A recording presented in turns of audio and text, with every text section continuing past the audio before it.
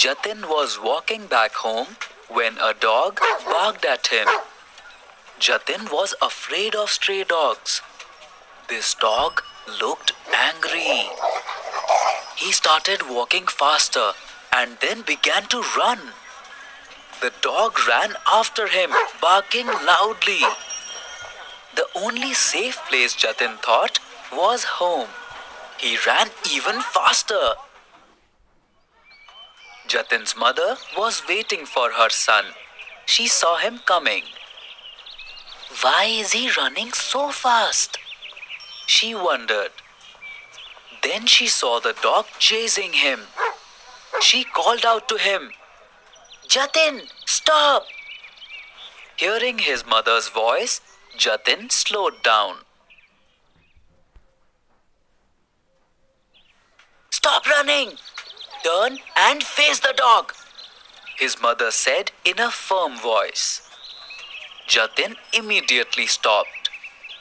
The dog stopped too, but continued to bark. Jatin slowly turned back and stood facing the dog. The dog stopped barking and quietly walked away.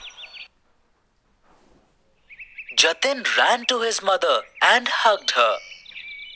Never run away from a situation, my son. Always face your fears. His mother said. Jatin said to himself, I'll never be afraid again. When Jatin grew up, he was once traveling with his friends. The boys took a shortcut through a forest. All of a sudden, a tiger jumped at them. His friends fled in fear, but Jatin stood his ground and fought the tiger. Later, when his friends returned with help, they found Jatin bleeding. He was badly wounded, but alive.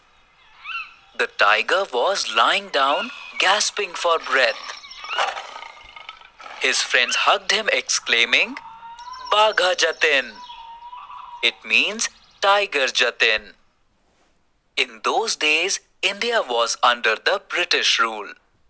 There was an armed rebellion against their rule. Jatin became the leader of the Jugantar party of revolutionaries. Addressing young revolutionaries, Jatin said, Amra Morbo, Jagat Jagbe. We shall die to awaken the nation. Jatindra Nath Mukherjee, who lived from 1879 to 1915, fought for India's freedom and died a martyr. And that's the story of Bagha Jatin.